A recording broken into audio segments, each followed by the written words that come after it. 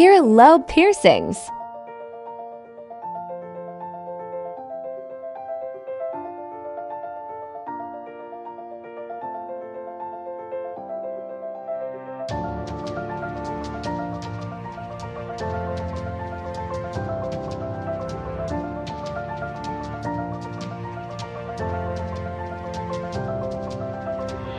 How did I do?